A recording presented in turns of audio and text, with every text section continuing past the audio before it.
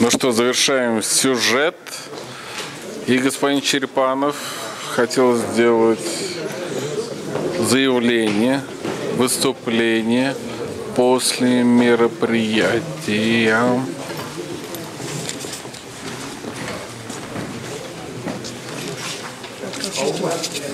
Мере я вот мог бы отве ответить вот ваши, ну вот ваши сомнения, вот слушайте, вот вам. Да, пожалуйста. Вот у меня сборник статей есть, и там как раз вот эти проблемы попыт, попытка решить. Да, давайте. Красиво? Я просто вам... Нет, Если нет я вам- зарядов, я вам тогда и магнитных полей ваших нет.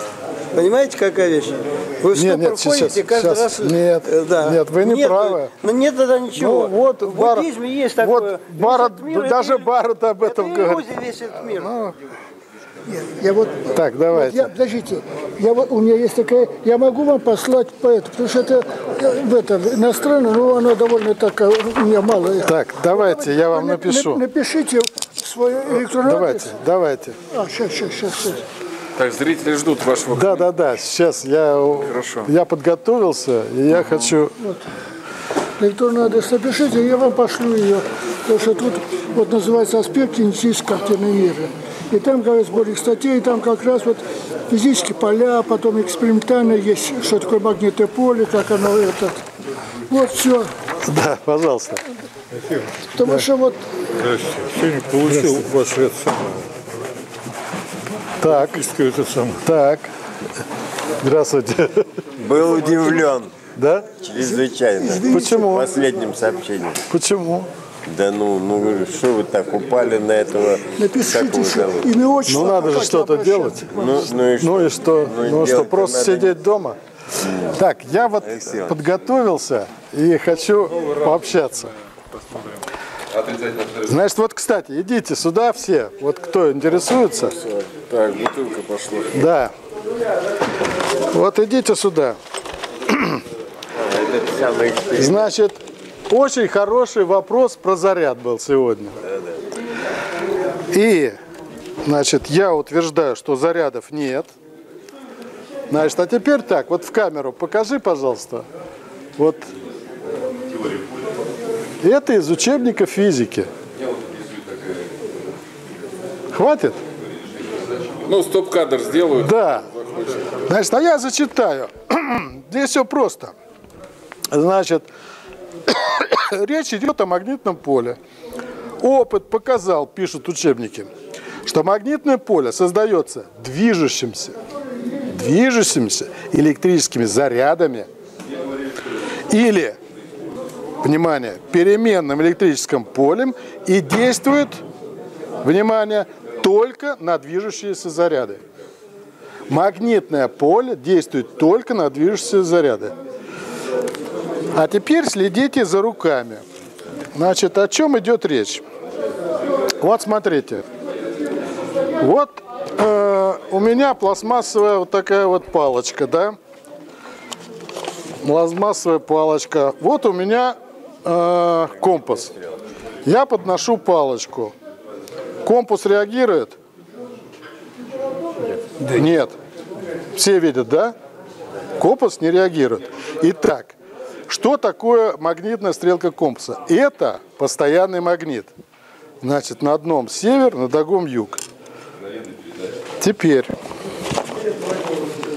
У меня есть постоянные магниты, нормальные. Сейчас мы проверим. Вот у меня S, да? Вот я подношу. Все четко. S. Теперь, что я делаю? Я беру. Все, работает? Все? Уберем его подальше. Значит, вот я беру. Значит, что нам физика говорит? Значит, если сейчас я должен его потереть, да? И у меня здесь якобы должны образоваться что? Электрические заряды. Значит, на этой палочке у меня электрические заряды, и у меня как бы что? Э, поляризованное поле там, да? Да. Правильно? Вопрос. Вот сейчас успокоится палочка, да? Скажите мне, пожалуйста, вот сейчас электрические заряды движутся? На данный момент движется.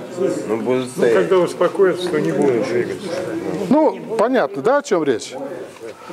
То есть, вот сейчас она должна успокоиться, и электрические заряды не движутся. Теперь, у меня магнитная стрелка. Мы подносим и смотрим.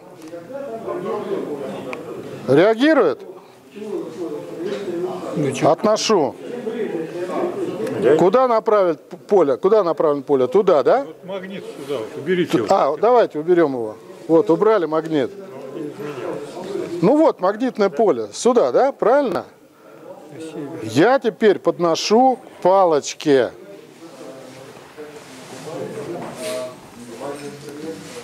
Всем видно, да? Так, а если Так, просто поставьте на стол, может, мы сейчас... Нет, мы сейчас круче сделаем. Это опыт у вас уже был. Показан. Вам сейчас показывают кварки. Не, не, у, него, у было. него было показано. Ну, это же полное это самое. Я бы писал по этому.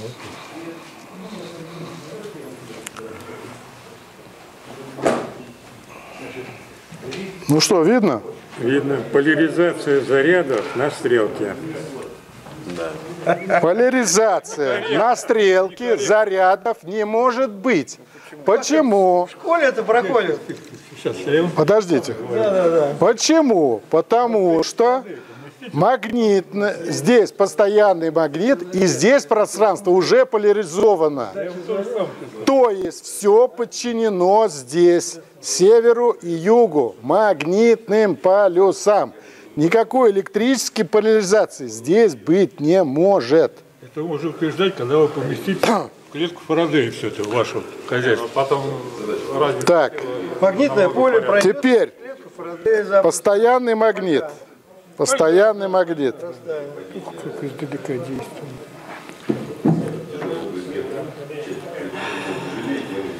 некорректный опыт вообще. Сейчас, под- сейчас будем натирать. Сейчас добьемся. Откройте учебник средней школы. Вы там все это прочтете. Где, в каком А то, что сейчас фейки, параграфе? в каком учебнике?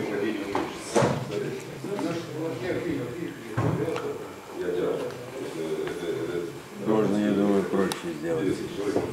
Вот здесь эта стрелка, Фольгу надо завернуть, вот и посмотреть. стрелка стоит на какой-нибудь, э, Так комментируйте, пожалуйста, что происходит. Ну, который является изолятором. вот девушка рядом стоит. Сейчас мы сейчас другой. Можно?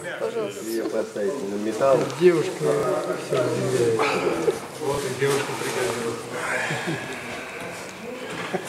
Девушке тоже нужно. И все глаза смотрят на это развод.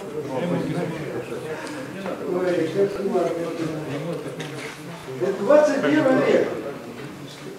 Все равно мне как сейчас скажут. Вот видите, она даже сразу прилипла. И это проблема.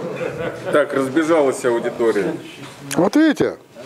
Так. Ну вопрос, даже вот это, потому что мне хотелось-то что сделать? Ну, сейчас давайте. Так, значит, мы убрали вот это сюда. Так, стрелка у нас туда. Вот интересно, что будет. Что, что Ну, поворот повернулась или нет? Повернулась.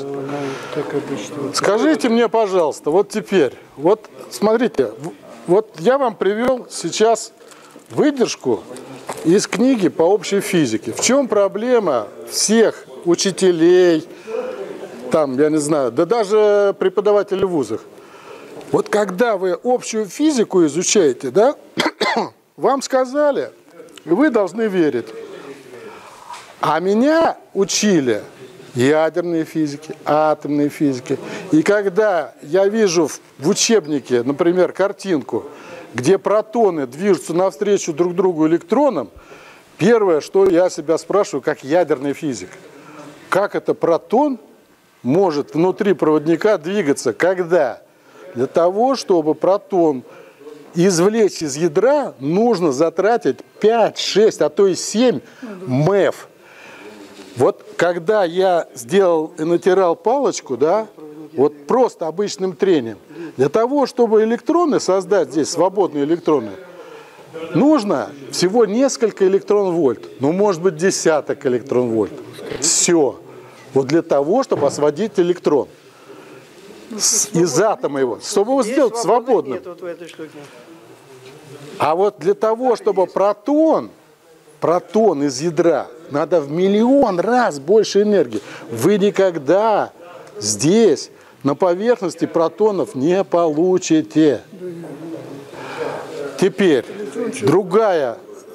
Вот нарисовали картинку, да? Значит, заряженное электрически тело, берет палочку, как бы экспериментатор, да, и даже в МИФИ такие эксперименты, зарядил, к электроскопу поднес, да? У меня вопрос. И там рисуются плюсики. У меня вопрос. Как заряженного положительного тела протоны сюда переходят, а потом на электроскоп? Вот как? Да Это же нонсенс. а Почему это нонсенс? Это еще нонсенс, знаете почему? Потому что протон в свободном состоянии только в плазме. Это 2500 градусов до 10 тысяч градусов температуры. Тогда только протон может быть свободным. Никаких положительных зарядов, отрицательных зарядов в природе нет. И сегодня на семинаре четко было сказано, никто не знает, кто такой заряд. Вот его придумали, а никто не знает. Так его просто нет. Его просто нет. Поэтому, э, когда вы проводите эксперименты, да, с точки зрения общей физики можно рисовать любой рисунок, да, а вот с точки зрения физика, ядерщика, у меня сразу очень много вопросов. У меня, например, самый простой вопрос возникает, который я уже задаю десятки раз всем э, физикам. Вот смотрите, сегодня показали, да, две элементарных частицы, протон электрон, да. Протон маленький, 10 минус 15 размер, маленький, но он массивный. Он массивнее электрона в 1836 раз. Каким образом маленький протончик и громадный электрончик создает одинаковое по модулю электрическое поле? А какой диаметр у электрончика? Ну, Протончика. вот как? Напомните, пожалуйста.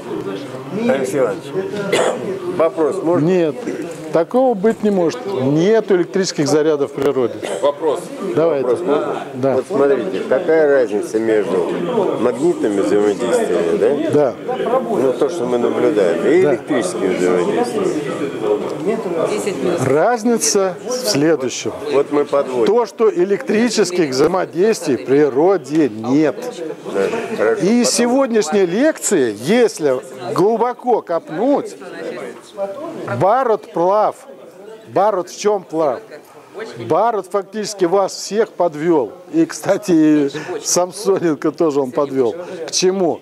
Да только магнитные взаимодействия есть в природе. Вот из его труда, который Барот э, нам представил сегодня, мы видим, что оказывается в основном только магнитные взаимодействия. А электрических нет. Предположим, Да, что есть только магнитные взаимодействия. да, Когда мы сводим два магнитика, да, они разворачиваются так, Да. чтобы слипнуться.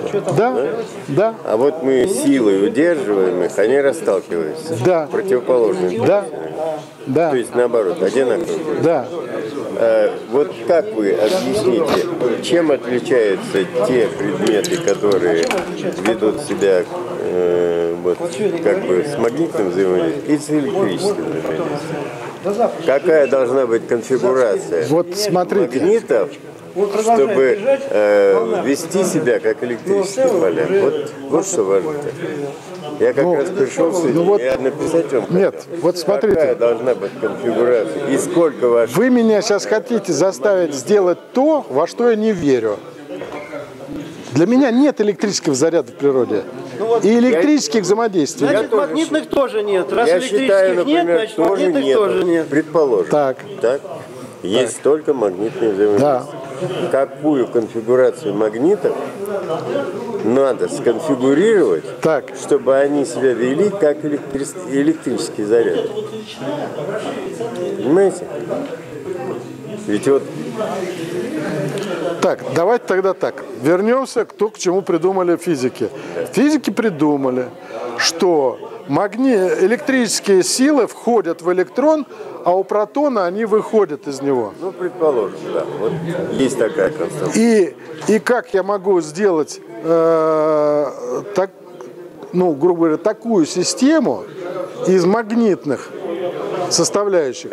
А что такое мы все? Вы, он, вот это э, стекло, там, пластмасса.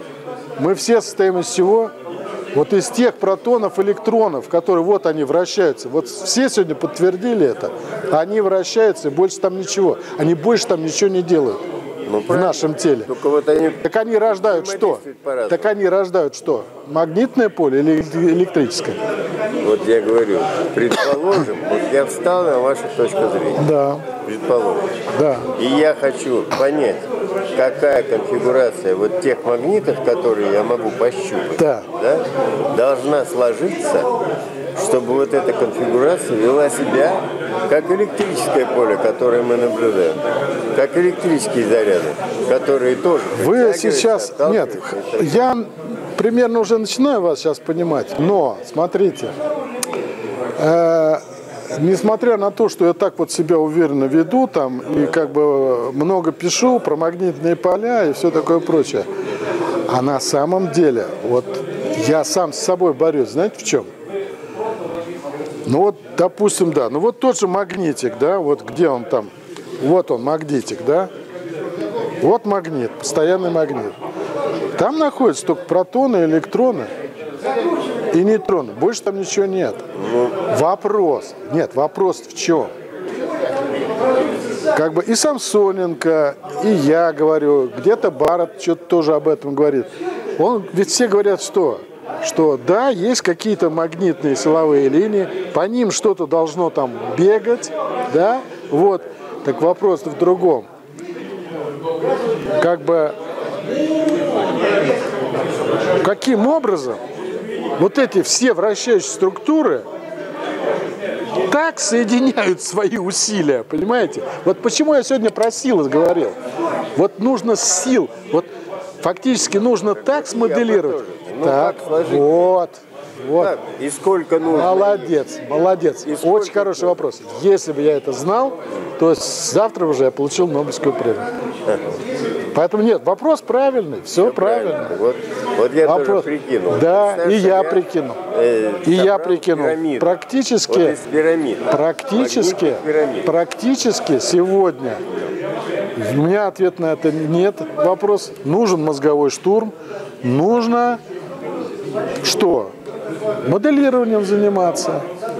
Ну, фактически мы все строим модели, больше ничего не делаем. А что нам остается? Мы не можем заглянуть, вот конкретно взял и, и глазом посмотрел, что там делается. Вот мы, ведь физика, как смотрите, как развивается физика. Вот собрались физики, да, конференцию провели, договорились, давайте вот то, что мы там э, в экспериментах получили, давайте назовем это кварками. Все. Все готовы, будем называть кварками. Я убедился в том, что теоретики, у, у них нет образа, поэтому у них физика безобразная или Вот, безобразная. вот типичный представитель у нас. Математика. Математика. Математика, все. Я когда спрашивают покойного Макарова, ну как ты представляешь электрон? Это формула. Да, Ну, понимаешь, ну, да, да? А куда мы попремся с, с такими представлениями? конечно. Нужен образ. Поэтому я вот этот... Я согласен смириться и при- принять вашу точку зрения. Но нужен образ. Как ваши ептомагнитики сложить, чтобы Да, они вели себя? да. Как вот э, Молодец. заряд. Очень вы правильно все мыслите. И в, в этом случае, вот мне нравится, помните, у нас такой был Буртаев выступал, Юрий Николаевич. Или Юрий Васильевич, да. Вот. Ведь он же говорил, хотите что-то, исследователь, сначала модель придумайте, а потом на основании этой модели смотрите, как она работает, не работает и так далее. Поэтому я с вами полностью согласен. Что такое йоктомагнит? Ну да, можно сказать, что он магнит. Он по логическому смыслу должен магнит, иначе у вас цепочка не получается. Потому что если это будет магнит, то да, вот она цепочка тогда будет. Ну, я вот тоже. А сам как он струирован? Он как, он как генерирует-то свои полюса? Нет, он должен даже- генерировать? Ну, даже вот это вот. Я представил себе вот э, футбольный мяч. Да. Он состоит из вот э, шестигранников и пятигранников, да, да? да, да. Вот я сделаю пирамиды такие, Да, да. Причем N, ну скажем, синий конец этих магнитов, я в центр его вложу, Да, так да. что у меня зазоров не было. Да. Вот у меня все сосредоточено в центре, а на поверхности значит, там все синее, здесь все красное. Так, Да? Но тогда этот магнит совсем не будет магнит. да, А точно. надо ему, значит, оставить какие-то Да. э, зазорчики. Ну да, Да? конечно. А а оставив зазорчики, он превратится в магнит, а не в электрический заряд. Ну, типа того. Поэтому того. надо найти такую конфигурацию, вот я считаю, и Но вот, представить ее. но вот, Иначе дальше двигаться нельзя. конечно, мой э, эксперимент, вот этот, который я показал, да, он примитивный. Но, я- Но, но, но он, но он же в чем? вот Его же самое главное. Эта стрелка, она же поляризуется. Да, Ну и вот эти. но она-то у нее магнитная поляризация. Вы поймите. Почему магнитная? А какая же? Электрическая? Нет, там нет. э, Нет. Ну как нет? А что тут не- нет? Вот э, это, как называется в школе эксперимент? Электризация через влияние. Помнишь какую штуку? да? Подносишь, Так, потом Так. касаешься, так. относишь, и снова заряд появляется. Значит, смотрите. В чем разница вот всех, кто здесь сидит? Да. Ну, я не знаю, вы к ним относитесь, не относитесь, но, Я стараюсь принять вот точку зрения Нет. Конарева, тем да, более но его аксиома Вы, единства. вы смотрите, они же все говорят о чем? Да. Что электрон вращается вокруг ядра. Ну да. У меня электрон не вращается не вокруг. вращается. Я с этим согласен. Понимаете? Потому что он должен излучать тогда все. Да, да, он не вращается. А от этого уже сразу начинается все по-другому. А раз он не вращается, и как устроена модель того же никеля, того же железа и так далее. Ведь это две фактически практически одинаковые молекулы. Практически одинаковые. Всего на два протона больше, и в никеле сразу домены образуются. Вопрос. Ведь это же внутренние силы. Да. Это внутренние силы. А откуда они берутся? Они что, разве в электроне берутся? Нет, они в протоне. А почему? Да потому что у протона напряженность в миллион раз больше, чем в электроне. А нам, вот она, вот если взять этот учебник, да, а нам твердят, что нет, электроны создают здесь поляризацию. Не электрон. Электрон подчиняется этой поляризации, притом свободный. А связанный он подчиняется чему? Протону. А в чем состоит, как бы, вот если взять молекулу никеля, да, у него на осях два протона висят. И в чем смысл, как бы, системы? Почему она потом начинает самоорганизовываться? На два протона у железа меньше, меньше. Поэтому сама система вот этой молекулы, вот этот магнит, который он создает, свой, она просто по силе меньше. Она не может домен создать. И сил не хватает. А у никеля вот эта критическая масса набирается протонов, и никель сам самоорганизуется. Он раз в одном месте домен, в другом месте, домен, в третьем. И вот у вас полностью как бы структура из доменов. Это в никеле. Это самоорганизация за счет чего? За счет протонов. Не за счет электронов. Вот это глубочайшее, как бы, а раз так, то все свободные электроны, которые здесь находятся, и здесь стрелки, они все подчинены этому постоянному магнитному полю, которое что? Вы искусственный магнит поднесли, обработали никель, все домены выстроились параллельно, вы их развернули, и вы создали постоянный магнит. Там он может 10 лет, 20 лет быть постоянным магнитом, правильно? Вопрос. Здесь, вот на расческе, на вот этой штуке, на поверхности могут только электроны. Протонов там нет. Ну, хорошо. Протон, он что? Свободный. Он ни к чему не привязан. Он в атоме привязан. А когда вы его вышибли трением, ионизация, он отвалился от атома. И он тут же друг за другом пух-пух-пух-пух-пух и в магнитный кластер. И на поверхности у вас вы получаете магнитный кластер из свободных электронов. Там больше ничего нет. И вы получили временный магнит, который взаимодействует с постоянным. Ну, это вот, вот, вот, вот этот момент очень Давайте, не строгий. Вот ну давай, давайте, нет, ну давайте обсудим. Ну вот Давайте обсудим. Посидите дома, по- подумайте. Я согласен. А прихожу, а письмо от вас и Платошкин там, понимаешь, я думаю, ну дает вообще. Я ему Ну а хочу почему нет? вопросы Ну а почему нет? Алексей Ну, а почему? Ну мы же уже в таком возрасте, мы Ну, а почему? этих Платошкиных столько было, что... Ну все это опять вернется. У меня, кстати, э, другая есть аксиома, которой я строго придерживаюсь. понимаешь? Ну. Вот э, что важно. Что мир поделен на два генотипа. Совершенно четко. И это есть борьба идет между этими. Чем они, вот они страшнее, чем Слушай, эти я тебе простой вопрос задаю. Да, Вот мы вроде общества, да? да. Ну, допустим, берем двух учителей. Один работает здесь, в Москве. Ну, допустим, он получает 75 тысяч, да? Да? Много. А в какой-то верхней, верхней пижме, верхней пижме, да, верхней пижме, приглашают учителя в школу на 5 тысяч рублей.